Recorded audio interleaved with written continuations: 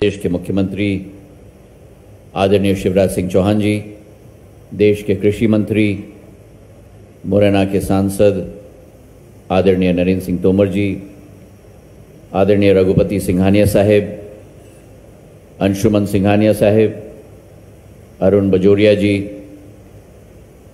हमारे साथ यहाँ उपस्थित विधायक कमलेश जाटव जी, रुस्तम सिंह जी, रघुराज सिंह कंसाना जी हमारी जिला पंचायत की अध्यक्षा हमीर पटेल जी की बेटी गिरिराज डंडोतिया जी, समस्त हमारे यहाँ उपस्थित जेके टायर के परिवार के सदस्यगण।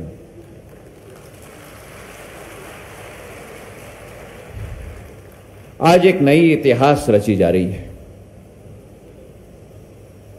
एक नवे सवेरे की शुरुआत की जा रही है।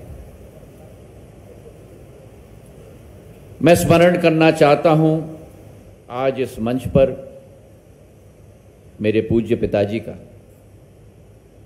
उनका सपना था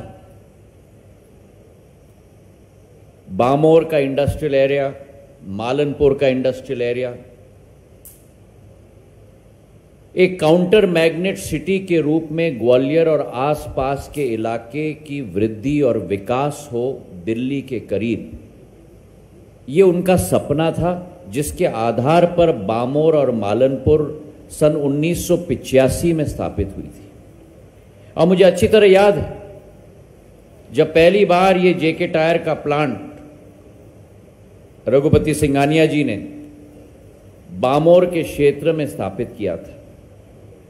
और आज ये प्लांट का इतिहास और इस प्लांट का योगदान केवल देश में नहीं लेकिन अंतर्राष्ट्रीय जगत में पूरी रूप से अपना जगह और अपना महत्वपूर्णता इस प्लांट ने स्थापित किया। दो पैसेंजर रेडियल प्लांट हैं जेके टायर के, जिसमें से एक बामोर में स्थापित है। यह विस्तारीकरण की योजना एक बहुत शुभ संकेत है। और यह विस्तारीकरण क्यों हो पाया? शिवराज सिंह जी के नेतृत्व में पिछले 18 वर्षों में जिस राज्य को बीमारू टैग के रूप में देखा जाता था, उसे उभारने का काम अगर किसी ने किया है तो हमारे मुख्यमंत्री शिवराज सिंह चौहान जी ने किया। एक टाइगर बाहुल राज्य हमारा मध्य प्रदेश।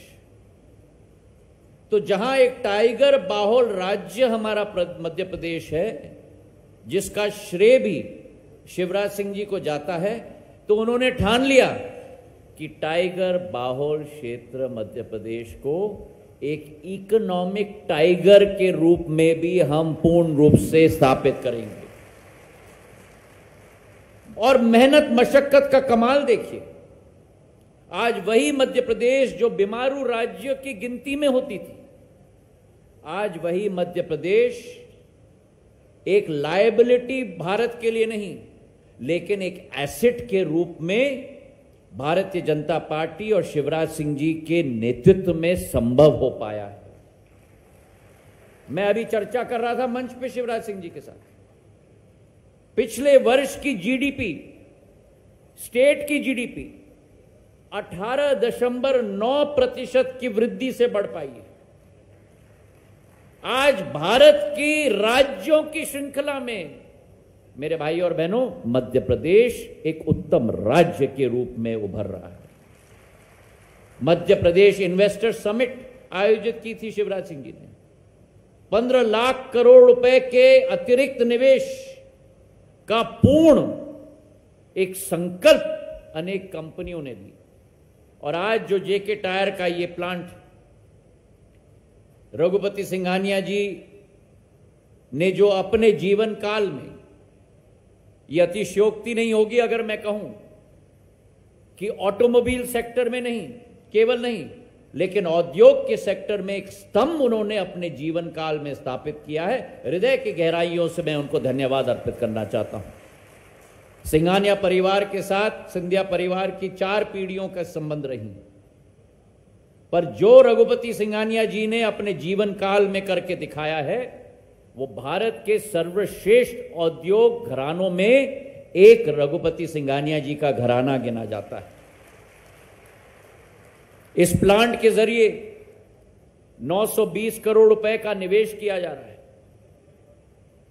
कुल मिलाकर उनतालीस लाख टायर की कैपेसिटी प्रति वर्ष की उत्पादन की है। यह 70 लाख तक लिया जाएगा। कुल मिलाकर इस कैंपस में 1800 करोड़ रुपए का निवेश हो रहा है। और इसी के ज़रिए प्रत्यक्ष और अप्रत्यक्ष रूप से 19,500 हमारे क्षेत्र के नौजवानों को प्रत्यक्ष या अप्रत्यक्ष रूप से रोज़गार के अवसर उत्पन्न हो पाएँगे। और ये शिवराज सिंह जी की जो संकल्प है invest in Madhya Pradesh ease of doing business start your business in thirty days उसी का वरदान है कि आज एक एक कंपनी आज निवेश करने के लिए मध्य प्रदेश में उत्सुक है। उस श्रृंखला में पहले नंबर पर जेके टायर है। मैं उनको दिल के गहराइयों से धन्यवाद देना चाहता हूँ। और प्रधानमंत्री जी का सुसंकल्प है, अर्थव्यवस्था में भारत विश्व स्तर पर 2013-14 पर दसवीं नंबर पर था, आज पांचवी नंबर पर है, और 2030 तक हम जर्मनी और जापान को भी पीछे छोड़ के विश्व में तीसरे नंबर पर पहुँचेंगे। उसी श्रृंखला में मध्य प्रदेश की अहम भूमिका शिवराज सिंह जी के नेतृत्व में होगी और जेके टायर की इस निवेश के साथ भी एक बहुत महत्वपूर्ण भूमिका भूमिका रहेगी और हमारा कद और कल दोनों इस सहयोग के साथ सुरक्षित रहेगा। इन्हीं शब्दों के साथ आपका बहुत बहुत धन्यवाद। जय हिंद, जय भारत। धन्यवाद, सर।